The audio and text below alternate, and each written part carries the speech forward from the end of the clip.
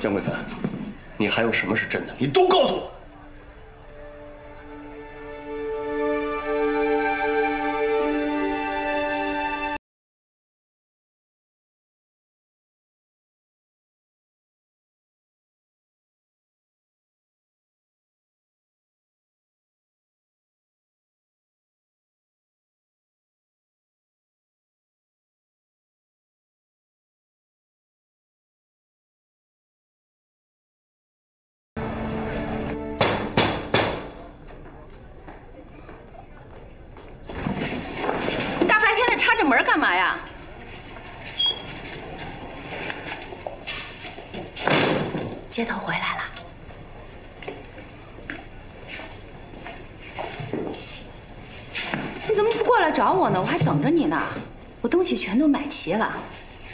床单、新被面、新脸盆，我还买了一个新的梳妆台。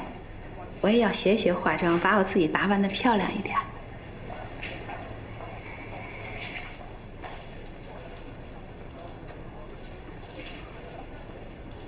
江桂芬还在楼上，她还没走啊？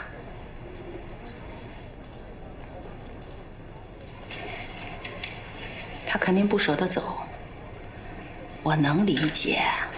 一直跟着你那么长时间，就算是个小狗小猫，也有很深的感情了，肯定会伤别离的。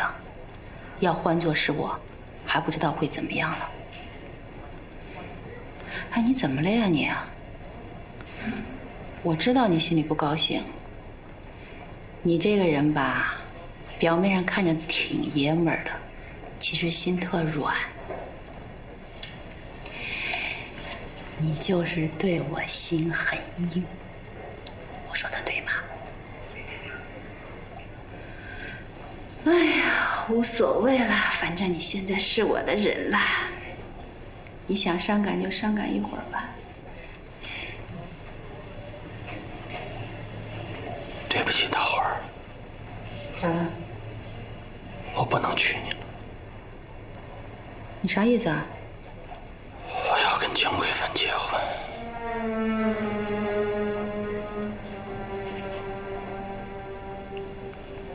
大花儿，我今天去接头，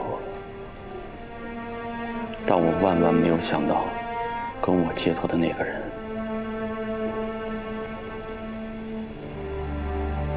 是江桂芬，她是苏公的特派员。青木好像提前知道了这个消息，在赵小光抓我们，我们两个迫不得已，就说是去拍婚纱照，想骗过青木。但青木不信，要给我们举办婚礼。他真实的目的，就是想在婚礼上看出我们的破绽，然后抓捕我们。所以我不能跟你结婚，我只能跟他结婚。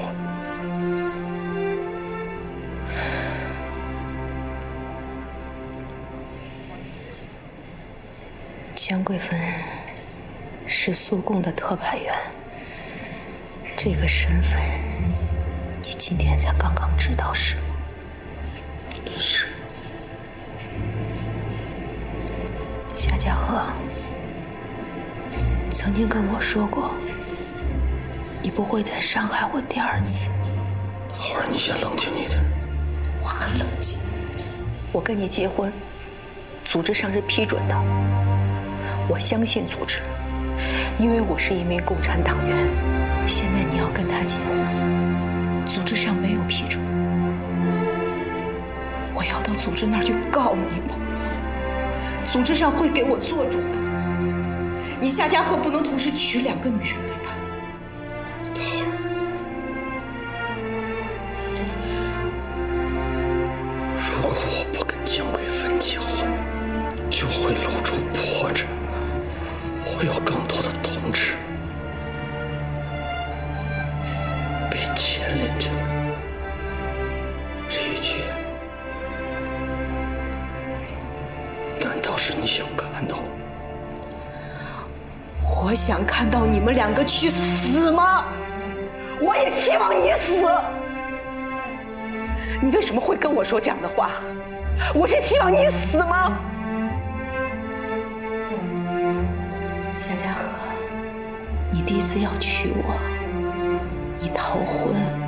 让我在花园口抬不起头，没有脸面做人。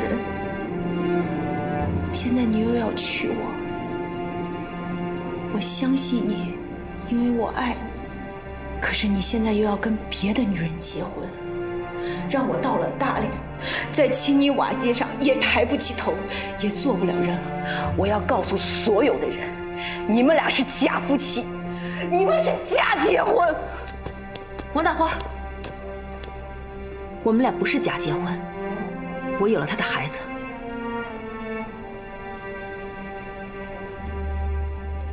是真的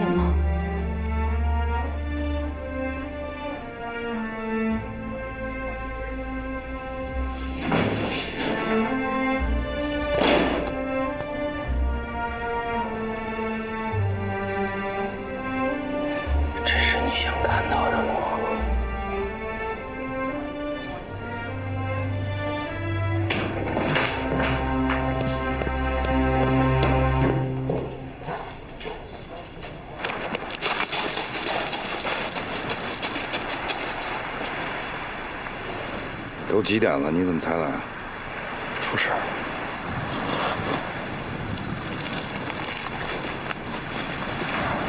出什么事儿？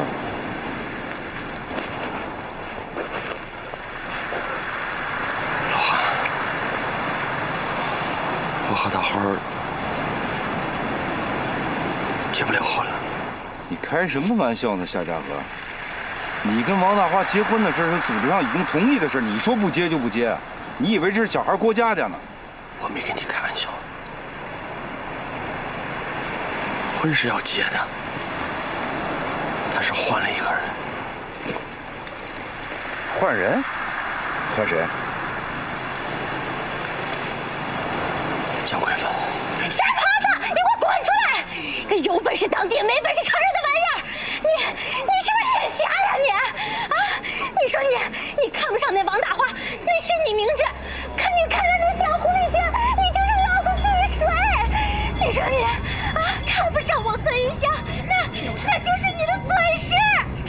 小狐狸精，你拿回家天天当着瓦片供着呀你！你们俩就等着羽化为香吧你！呸！远东局把江桂芬安排在你身边，既是保护你，又是执行任务，这一点没问题。但我不能接受的是，组织上为什么一直在瞒着我们？小江告诉我，是苏联方面向咱们组织提出来的要求，也是为了保护他们自己的特工。照你这么说，你连那不出问题，这件事还一直保密下去？也许吧。也许。夏家河，我告诉你，你跟江桂芬在一起待了这么多年，你就没有察觉她是苏联特工吗？你难道一点点都没有察觉到吗？我察觉到了，也发现了好几次，尤其是这次江桂芬跟我回到大连的时候。可是我就万万想不到，她能是远东情报局的人。你既然怀疑过他，你为什么不告诉我？我没有确凿的证据，我怎么告诉你？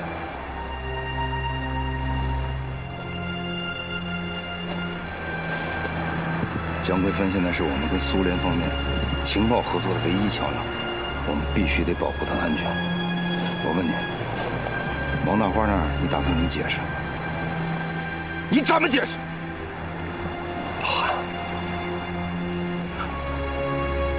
我不知道，我乱了，我全他妈乱了，我现在可是死的心都有。照青木专案说的算，在王大花的店里，你跟江桂芬把婚事办了。这不摆明了是鸿门宴？鸿门宴也得去，只有这样，青木正二才不会怀疑你们，你跟江桂芬的身份才不会被暴露，我同志们的生命才能得到保全。王大花那儿，你去解释。真是没想到，青木不但没有怀疑孙世奇，还要在他大姨姐的店里给那姓夏的办婚宴。宴无好宴啊！咱俩没去不？你特喜欢跟人家凑份子钱是吗？那个姓夏的和那个女护士突然结婚，这里面一定有问题。他们是想用结婚掩饰共产党的身份吧？我看青木就是为了查清这件事情，才给他们办的婚宴。那要是真查出点啥事儿来，孙世奇得被牵连吧？你说呢？上次您说把孙世奇弄下来，显得咱们有私心。这次真要查出点事儿来，这机会咱可不能错过吧？你就是尿急，憋不住。还是看看明天会发生什么吧。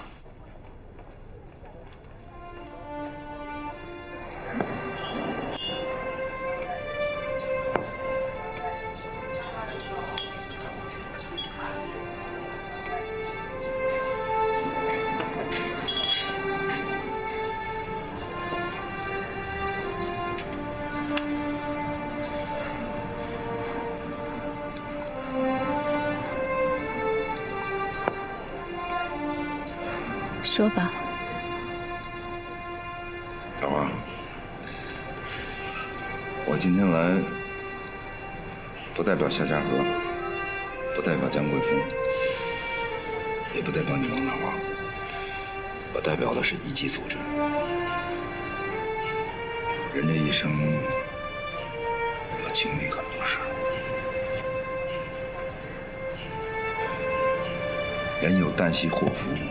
月有阴晴圆缺，你你昨天的大喜跟今天的大悲，都将是属于你自己的人生经历。所以，夏家河跟小江结婚，绝不是对你感情的背叛，是情急之下迫不得已。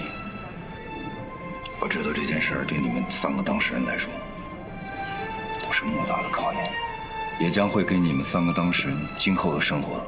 带来很大的痛苦，但是你们必须要面对，因为你们是党员，共产党员。宣誓的时候我们都说过，不怕死，不怕困难，为共产主义事业奋斗终生。从今天的这件事上来说，你们三个都经得住考验，你们是合格了。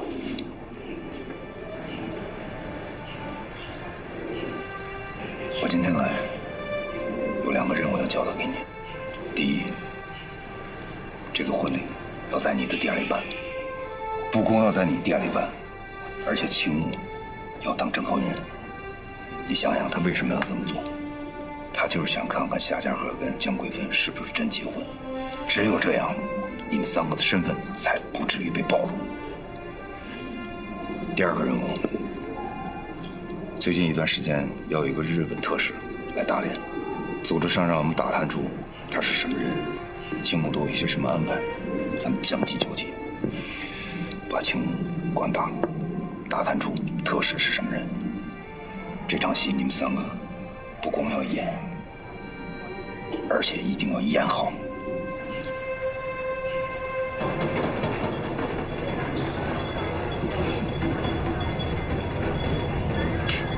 请帖收到了吗？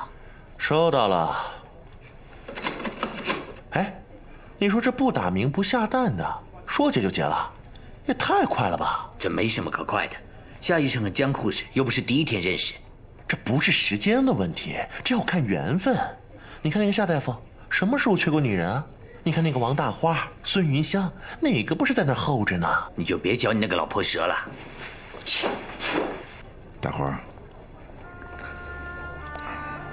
你跟夏家河的那种爱，我懂。我老韩也年轻过，我也曾经有过一个挚爱的女人，但这事儿谁都不知道，包括夏家河。如果你想听我老韩唠叨几句，我就说给你听听。我参加革命前，我们俩是青梅竹马相爱的，那个时候，我想能跟他在一起，相守一生，生儿育女。是我一辈子的幸福。当我要参加革命的时候，我很清楚的认识到，为了我们的信仰，为了我们革命的成功，我选择放弃了。但当时那个情况，我没法告诉他我放弃他的原因，伤得他特别深。几年之后，我去找过他，他过世了。但直到现在，我还爱着他，我心里还想着他，到死都忘不了。有机会我给你看看你嫂子照片，特漂亮。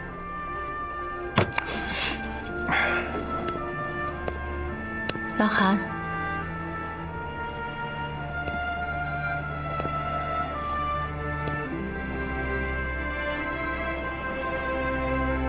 我穿红色的旗袍好看吗？真好看。你说你啊，刚开始骗我这瞎耙子是你表弟，诚心来糊弄我，你自己心里打着小九九，做着他娶你过门的黄粱美梦，这到头来鸡飞蛋打了吧？从这一开始听这钢蛋喊这瞎耙子叫爹起，我就觉得这事儿不对劲儿。哎，你说他要是看不上我，那也不应该能看得上你呀？这我还不如个带孩子的寡妇了。咋样啊？啊，这折腾半天，人家根本就没这意思，是你自己在那自作多情。这瞎耙子也是啊，这不也瘸吗？他就算不娶我，那那也应该娶你。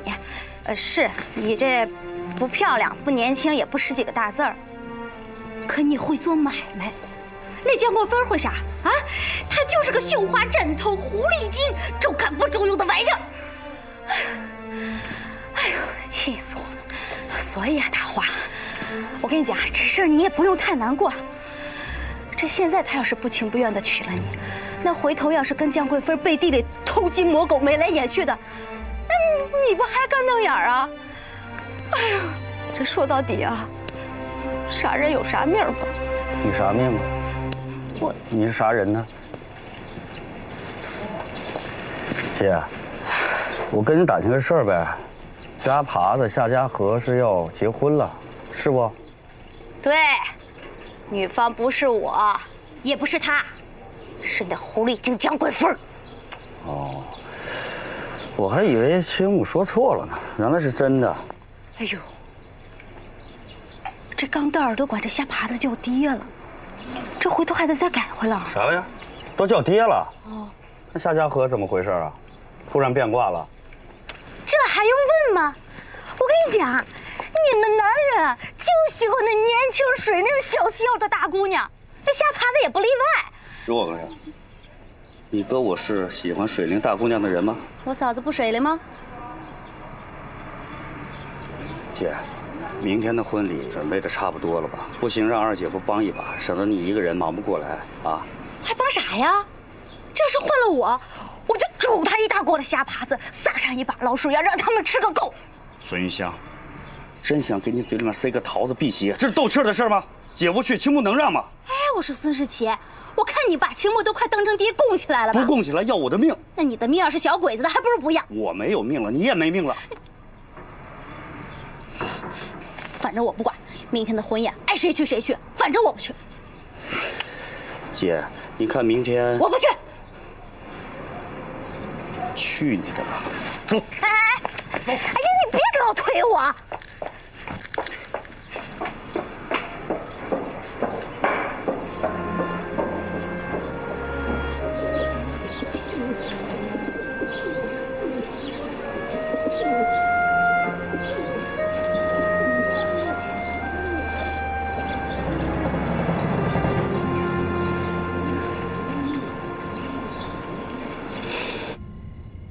松本明日の結婚式だが密かに警備はきつくしておけ。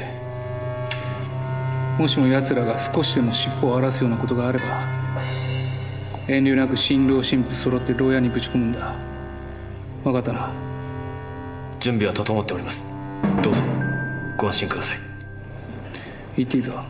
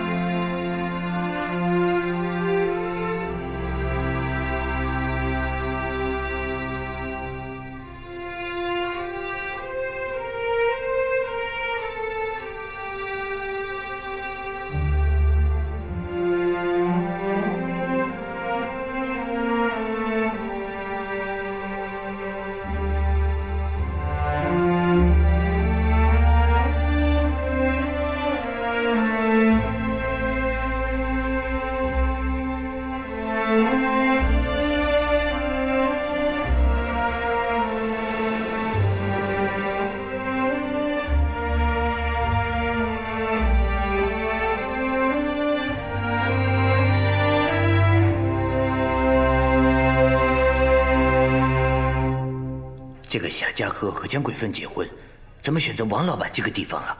这不欺负人吗？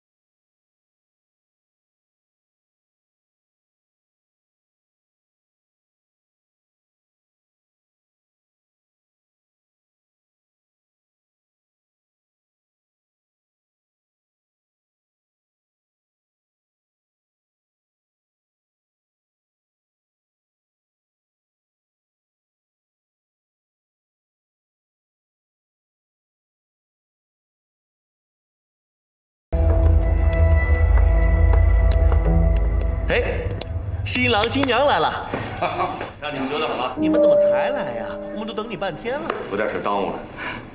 看，我们大家随的份子。哎，这怎么好意思？对了，夏大夫，你们俩在大花这儿办喜事儿，不先去拜拜人家呀？哎呦，我说李巡捕，你说这话不是为难人家夏大夫吗？他们仨人的事儿，咱这街上谁不知道啊？这怎么叫为难呢？这是应该的，是不是啊？没错，应该的。好了好了，你快去看看菜准备的怎么样了。好，那你们先坐，我上后面看看。先坐，先坐。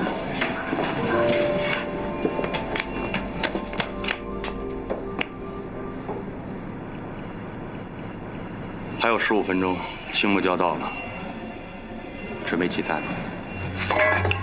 你他妈什么菜？你他妈什么菜？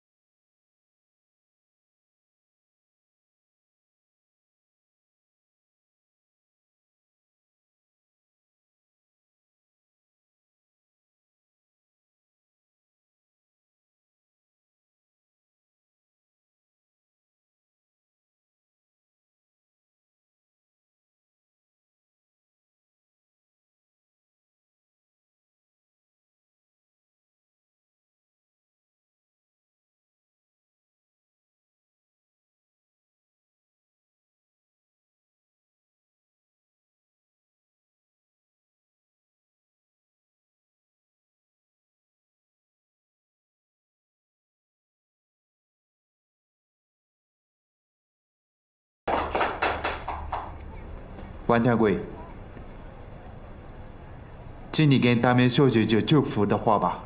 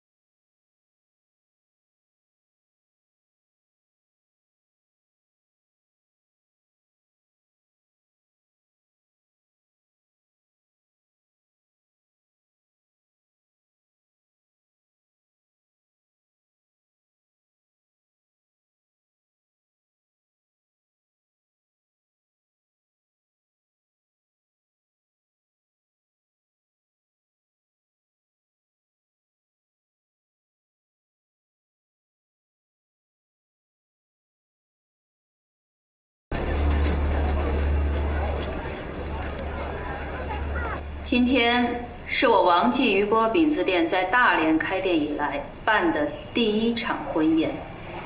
这顿婚宴对我来说意义非凡，所以，我为新郎新娘以及在座的亲朋好友准备了四道菜。第一道，油炸贵妃鱼。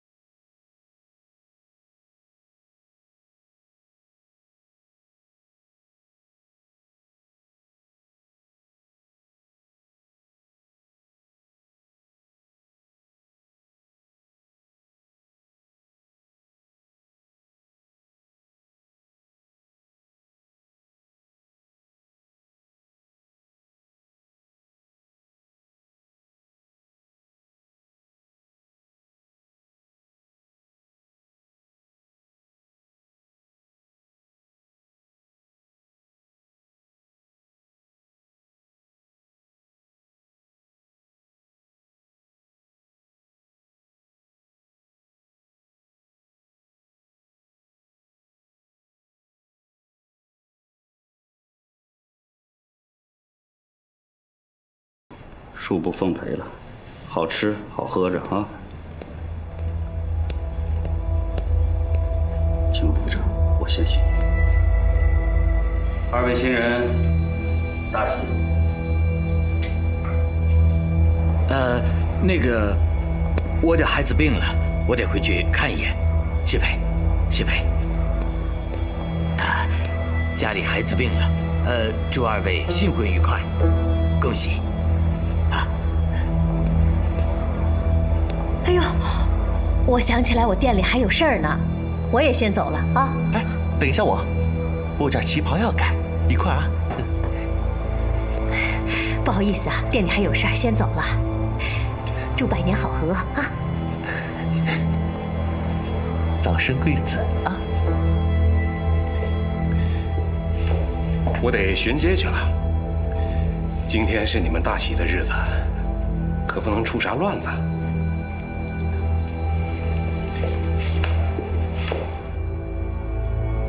本お先